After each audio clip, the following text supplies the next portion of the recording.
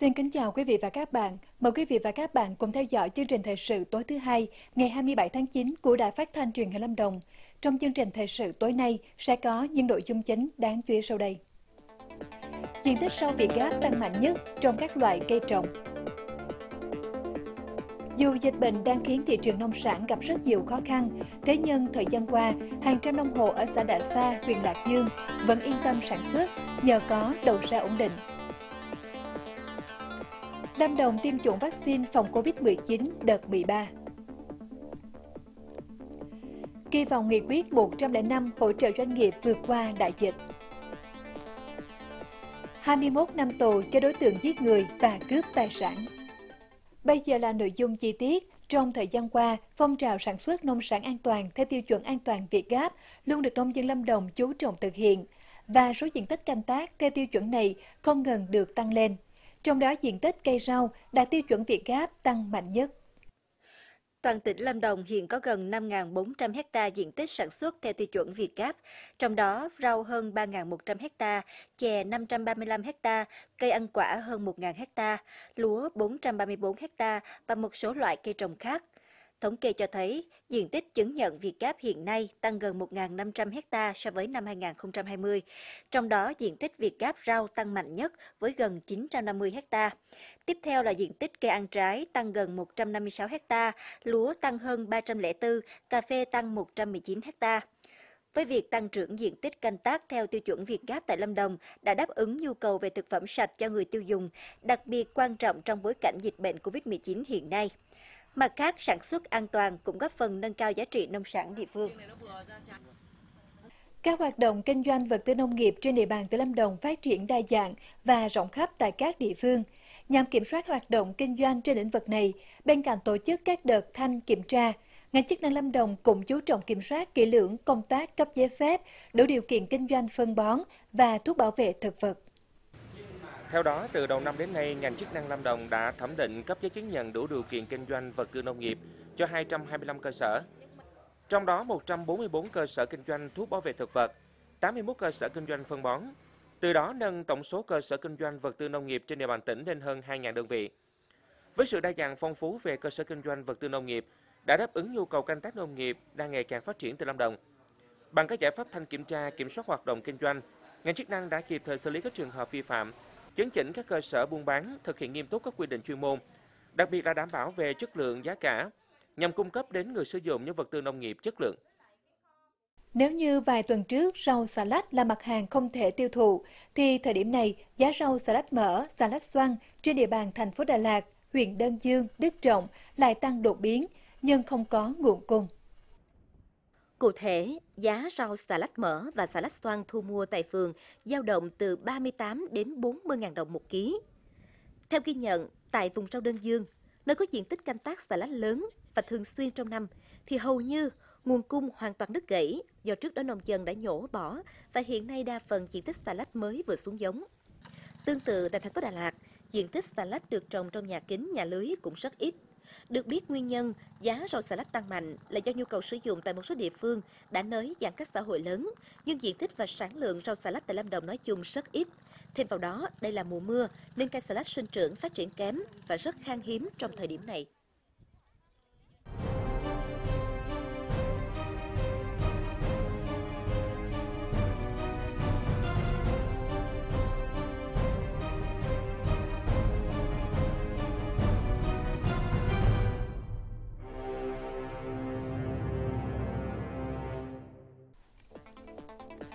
Từ ngày 26 tháng 9 đến ngày 3 tháng 10, tỉnh Lâm Đồng tổ chức tiêm 30.360 liều vaccine phòng COVID-19 cho người dân trên địa bàn. Cùng gặp gỡ người trạm trưởng nhiệt huyết trong phòng chống dịch COVID-19 là những thông tin sẽ có trong phần tiếp theo của chương trình.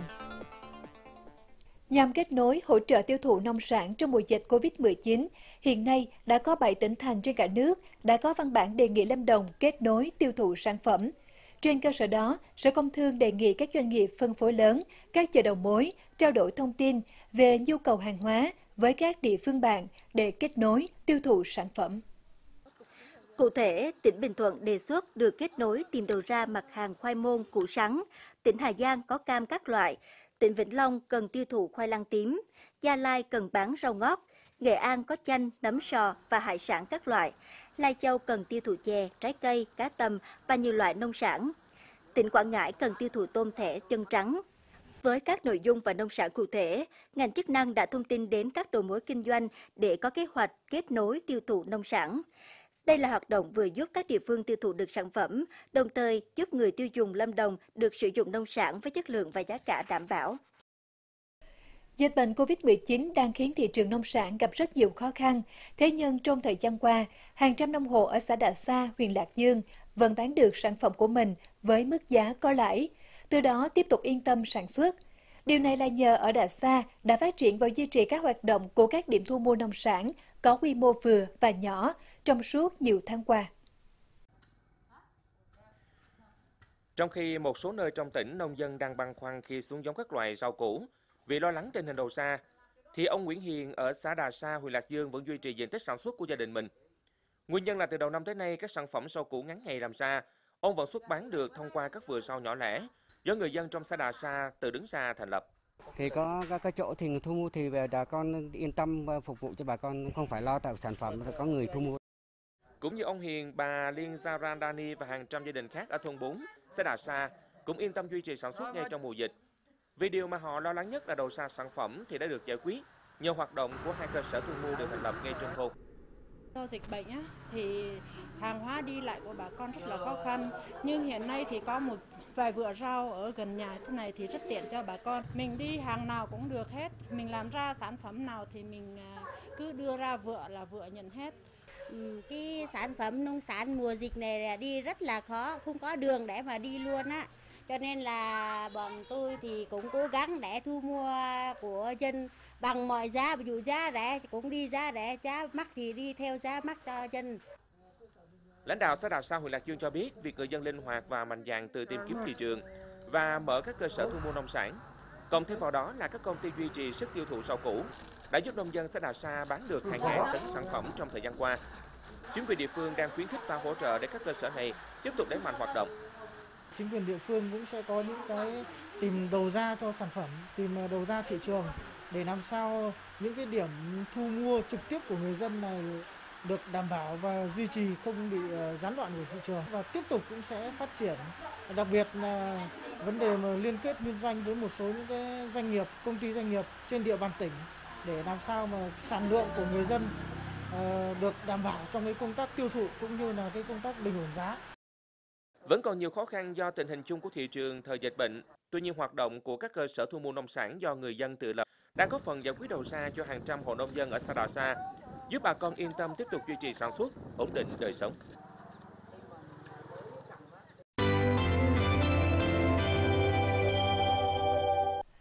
Từ ngày 26 tháng 9 đến ngày 3 tháng 10, tỉnh Lâm Đồng tổ chức tiêm chủng vaccine phòng COVID-19 đợt 13, với tổng số liều vaccine được Viện Vệ sinh Dịch tễ Trung ương phân bổ cho tỉnh Lâm Đồng là 30.360 liều vaccine, gồm AstraZeneca và Pfizer.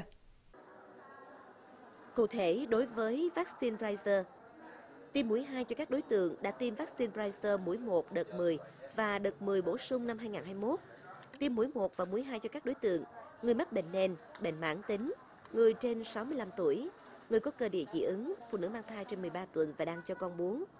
Thời gian tiêm mũi 1 từ 26 đến 28 tháng 9 và tiêm mũi 2 từ 17 đến 19 tháng 10.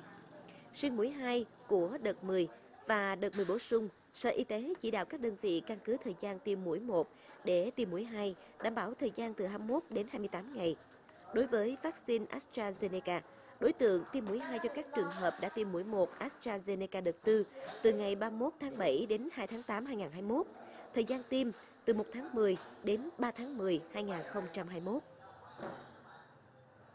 Hôm qua 26 tháng 9, doanh nghiệp vật liệu xây dựng Anh Thanh tại xã Ninh Gia, huyện Đức Trọng đã tổ chức tặng quà cho các hộ có hoàn cảnh khó khăn bị ảnh hưởng bởi dịch COVID-19 ở huyện Di Linh. Dịp này, doanh nghiệp vật liệu xây dựng Anh Thanh đã trao tặng 208 phần quà cho các trường hợp là hộ nghèo, cận nghèo, hộ khó khăn, người lao động nghèo, trẻ mồ côi, người già neo đơn, người bán vé số và bà con đồng bào dân tộc thiểu số nghèo trên địa bàn xã Tam Bố, huyện Di Linh. Mỗi phần quà trị giá 400.000 đồng gồm tiền mặt, 10 kg gạo và một số nhiều yếu phẩm khác. Đây là hoạt động thể hiện sự quan tâm của chính quyền địa phương Statambo và các nhà hảo tâm trong việc chăm lo, chia sẻ, động viên những hoàn cảnh khó khăn bị ảnh hưởng bởi dịch COVID-19, góp phần thực hiện tốt công tác an sinh xã hội, giúp người dân ổn định cuộc sống và chung tay phòng chống dịch hiệu quả. Cùng với toàn hệ thống chính trị trong cuộc chiến phòng chống dịch COVID-19, lực lượng tuyến đầu nói chung và đội ngũ y bác sĩ tại các khu cách ly nói riêng cũng đã ngày đêm thầm lặng, cống hiến, chăm sóc, bảo vệ sức khỏe cho nhân dân. Chúng tôi muốn nói đến tấm gương điển hình của Bộ Chỉ huy quân sự tỉnh Lâm Đồng, bác sĩ Trung tá Trần Văn Lao, trạm trưởng trạm xá H32. Giao ban để nắm bắt tình hình sức khỏe bệnh nhân đang cách ly tại đơn vị là nhiệm vụ hàng đầu của trạm xá H32. Từ cuộc họp này, thông tin điều trị cho bệnh nhân đều được đưa ra. Để hoàn thành tốt công việc được giao, bản thân bác sĩ Trần Văn Lao, người trạm trưởng của đơn vị, đóng vai trò hết sức quan trọng. Bản thân tôi và cán bộ chiến sĩ khu cách ly luôn luôn sẵn sàng xác định với tinh thần chống dịch như chống giặc với công việc hàng ngày thăm khám đo nhiệt độ cho bệnh nhân trong khu cách ly. Tuy công việc rất vất vả, khó khăn, nhưng bản thân luôn xác định đây là nhiệm vụ trọng tâm. Do đó, bản thân tạm gác lại công việc, gia đình, tập trung cho nhiệm vụ đơn vị. Với bệnh nhân đang cách ly tại trạm xá H32, hình ảnh bác sĩ Lao hàng ngày trong bộ bảo hộ lên xuống các tầng và đến từng phòng khám cho bệnh nhân không còn xa lạ. Sáng sớm đến chiều tối, những lời thăm hỏi sức khỏe động viên của người cán bộ quân y đã làm ấm lòng người dân đang cách ly tại đây. Từ khi cách ly ở đây, những y bác sĩ tới đây ờ, thăm khám những bệnh nhân tận tình và ờ, chu đáo và cái những món ăn vẫn ngon ngon và giúp cho bệnh nhân hồi phục bình thường.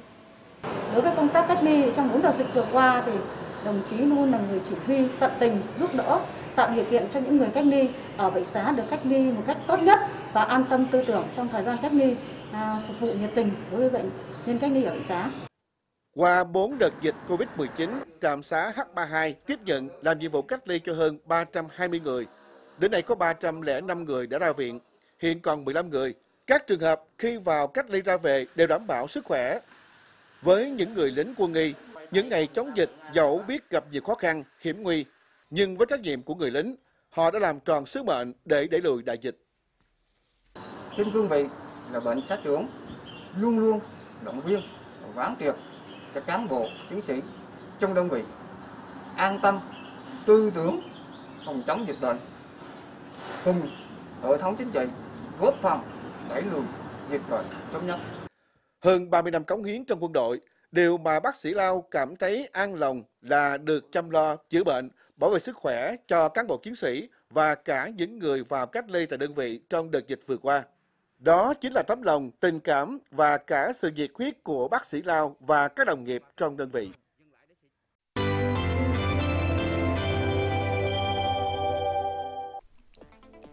Những nội dung chính trong phần tin trong nước với những giải pháp kịp thời, linh hoạt, cụ thể của nghị quyết 105 của chính phủ cộng đồng doanh nghiệp và người dân tin tưởng sẽ sớm vượt qua đại dịch Covid-19, đưa cuộc sống của người dân về trạng thái bình thường mới trong thời gian sớm nhất. Theo Bộ Kế hoạch và Đầu tư, từ đầu năm đến nay, 41 dự án đầu tư ra nước ngoài của Việt Nam đã được cấp giấy chứng nhận đăng ký đầu tư mới, với tổng vốn đăng ký đạt trên 150,1 triệu đô la Mỹ. Tính đến ngày 20 tháng 9, tổng vốn đầu tư của Việt Nam ra nước ngoài cấp mới và tăng thêm đạt 572,3 triệu đô la Mỹ, tăng 32,4% so với cùng kỳ năm 2020. Các nhà đầu tư Việt Nam tập trung vào 13 ngành lĩnh vực tại nước ngoài. Trong đó, ngành hoạt động chuyên môn, khoa học công nghệ dẫn đầu với ba lượt dự án điều chỉnh vốn. Ngành bán buôn, bán lẻ đứng thứ hai. Tiếp theo là ngành nông, lâm nghiệp, thủy sản, hoạt động hành chính, và dịch vụ hỗ trợ. Chính phủ vừa ban hành nghị quyết 105 về hỗ trợ doanh nghiệp, hợp tác xã, hộ kinh doanh trong bối cảnh dịch COVID-19. Mục tiêu của nghị quyết là tập trung khôi phục, phát triển hoạt động sản xuất, kinh doanh của các doanh nghiệp, hợp tác xã, hộ kinh doanh, gắn với đảm bảo an toàn phòng chống dịch COVID-19. Với nhiều điểm mới tích cực, nghị quyết mang theo rất nhiều kỳ vọng của doanh nghiệp. Mở cửa trở lại văn phòng làm việc sau giai đoạn giãn cách, chị Hân, chủ một doanh nghiệp trong lĩnh vực thiết bị giáo dục vừa mừng vừa lo. Với hai nhà máy sản xuất tại Hưng Yên và Long An, những áp lực từ việc duy trì hoạt động sản xuất và thực hiện phòng chống dịch đã khiến chi phí bị đội lên nhiều lần. Trong hai tháng qua, nguồn thu của doanh nghiệp gần như bằng không do việc đứt gãy trong cung ứng nguyên vật liệu cũng như vận chuyển hàng hóa, thi công công trình. Chính vì vậy, việc cho phép kéo dài thời gian cơ cấu thời hạn trả nợ, giữ nguyên nhóm nợ theo nghị quyết 105 của chính phủ là thông tin tích cực với doanh nghiệp. Chúng tôi đã phải vay vốn ngân hàng với một khoản tiền rất là lớn. Thì khi dịch bệnh xảy ra thì cái dòng tiền này hoàn toàn là nó bị tồn động tại nhà máy, tại các phân xưởng và à, không thể giao hàng đi cho hệ thống phân phối được, dẫn tới rằng là chúng tôi bị mất thanh khoản về dòng tiền. Chịu thiệt hại nặng nề nhất từ 4 đợt bùng phát dịch Covid-19, việc cơ quan liên quan sớm cho phép doanh nghiệp dịch vụ lữ hành được giảm 80% tiền ký quỹ kinh doanh dịch vụ lữ hành đến hết năm 2023, giảm thời gian giải quyết hoàn trả tiền ký quỹ kinh doanh dịch vụ lữ hành từ 60 ngày xuống còn 30 ngày, theo nghị quyết 105 đối với nhiều doanh nghiệp là hết sức có ý nghĩa. Các à, doanh nghiệp du lịch và lữ hành thì cũng đang bị cái tình trạng là cạn kiệt về nguồn vốn à, khi à, dịch bệnh kéo dài và không có khách không có nguồn thu thì à, những cái nguồn vốn à, như này à, chúng tôi có cũng sẽ giúp cho chúng tôi trang trải được các chi phí như là thuê văn phòng hay là trả lương cho nhân viên theo điều tra của Ban Kinh tế Tư nhân, có tới 63% doanh nghiệp cho biết dòng tiền chỉ có thể duy trì sản xuất kinh doanh trong vòng từ 1 đến 3 tháng tới. Chính vì vậy, nghị quyết 105 ban hành trở thành điểm tựa vững chắc cho các doanh nghiệp trong đại dịch.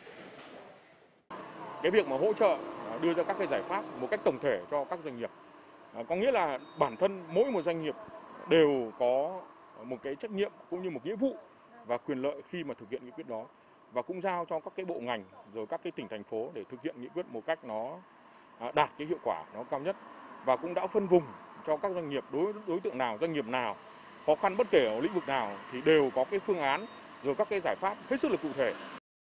Với những giải pháp kịp thời, linh hoạt và cụ thể của nghị quyết 105, cộng đồng doanh nghiệp và người dân tin tưởng sẽ sớm vượt qua đại dịch COVID-19, đưa cuộc sống về trạng thái bình thường mới trong thời gian sớm nhất. Doanh nghiệp sẽ giữ vững chuỗi sản xuất, cung ứng để phát triển bền vững.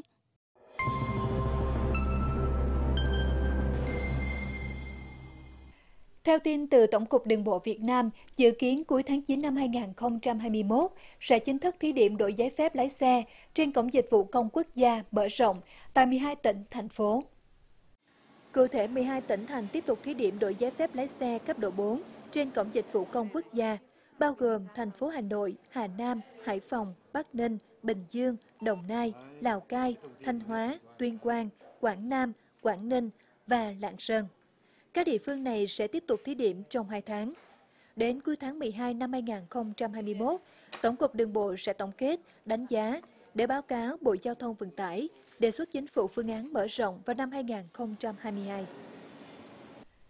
Vì không muốn học sinh nghèo ở địa phương bị gián đoạn học tập bởi dịch bệnh, trong thời gian qua, thầy Ngọc Dũng, giảng viên Đại học Phương Đông, bằng nhiều hình thức đã xin điện thoại cũ về sửa lại, rồi mang tặng cho học sinh có hoàn cảnh khó khăn ở xã Phù Đổng, huyện Gia Lâm, Hà Nội.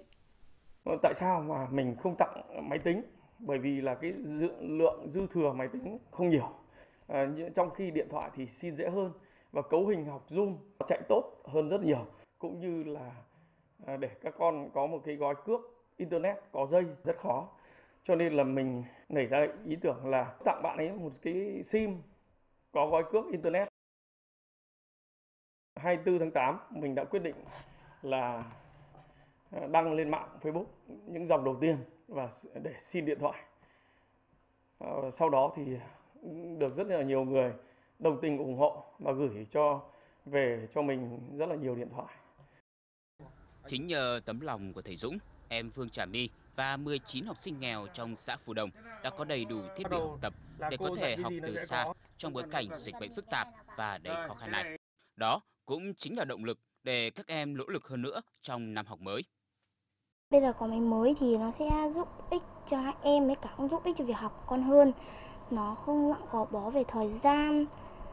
Con có thể tìm hiểu về bài nó kỹ hơn có mỗi một cái không có thể đủ được cho ba cháu học thì anh Dũng mới lại cô giáo có đến nhà là bảo nhà trường tặng cho chiếc máy để cho hai cháu học lớp 2 là sử dụng cái đấy chỉ mong muốn ờ, sao cho các con là nó học theo kịch các bạn.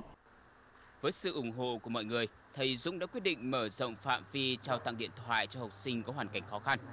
Thời gian tới, dự kiến thầy sẽ tiếp tục kêu gọi quyên góp và phối hợp với Thành đoàn Hà Nội để trao tặng cho các em có hoàn cảnh khó khăn. Tôi thay mặt nhà trường rất là cảm ơn uh, các uh, ban lãnh đạo cũng như là anh Nguyễn Ngọc Dũng đã đứng ra quyên góp ủng hộ cho các con để các con có thiết bị học tập. Thì việc này sẽ giúp các con là có được kiến thức cùng với các bạn và sẽ không bị thụt lùi so với các bạn khi mà tiếp thu kiến thức qua chương trình học online. Muốn là ở tất cả các địa phương trên cả nước ở đâu cũng có điện thoại cũ, ở đâu cũng có người người tốt, có những tấm lòng bao dung và ở đâu cũng có những người sẵn sàng như tôi ờ, gom điện thoại và tặng lại cho các em. Không chỉ giúp các em nhỏ có thiết bị học tập, thời gian qua, thầy Dũng còn hỗ trợ nhu yếu phẩm cho người dân gặp khó khăn vì dịch bệnh và tham gia chống dịch tại địa phương. Hàng năm, thầy đều dành tiền và có các chương trình giúp đỡ bệnh nhân ở Viện Ca và Bệnh viện Nhi Trung ương.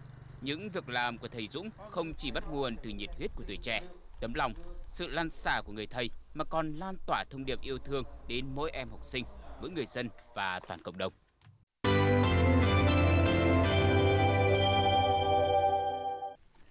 Phần cuối của bản tin thời sự tối nay, Tòa án Nhân dân tại Lâm Đồng tuyên phạt 21 năm tù giam đối với Nguyễn Công Phúc, sinh năm 2000, trú tại huyện Hoài Ân, tỉnh Bình Định, về tội giết người và trộm cắp tài sản. Ngày 27 tháng 9, Tòa án Nhân dân tỉnh Lâm Đồng mở phiên tòa sơ thẩm xét xử vụ án hình sự đối với bị cáo Nguyễn Công Phúc, sinh năm 2000, trú tại huyện Hoài Ân, tỉnh Bình Định, về tội giết người và cướp tài sản. Cáo trạng chỉ rõ ngày 25 tháng 8 năm 2020, Nguyễn Công Phúc đi từ thành phố Hồ Chí Minh đến Đà Lạt để tìm việc làm. Nảy sinh ý định trộm cắp, vào khoảng 3 giờ 30 phút ngày 29 tháng 8 năm 2020, Phúc đến quán ăn Hòa Bình trên đường Hoa Phượng Tím, phường 3, thành phố Đà Lạt để trộm cắp tài sản.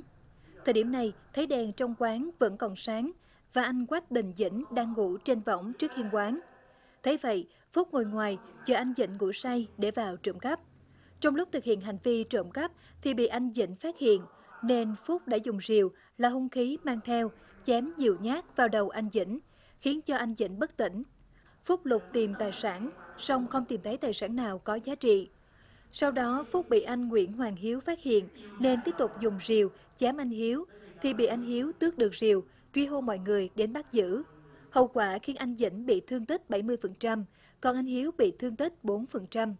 Tại phiên tòa, xét thấy hành vi của Nguyễn Công Phúc thủ đoạn liều lĩnh, thể hiện tính côn đồ, nên Tòa án Nhân dân tỉnh Lâm Đồng tuyên phạt Nguyễn Công Phúc 18 năm tù giam về tội giết người, 3 năm tù giam về tội trộm cắp tài sản. Tổng hợp chung hình phạt là 21 năm tù giam. Quý vị và các bạn thân mến, chương trình thời sự tối nay xin được tạm dừng tại đây. Cảm ơn sự quan tâm theo dõi của quý vị và các bạn. Thân ái, chào tạm biệt.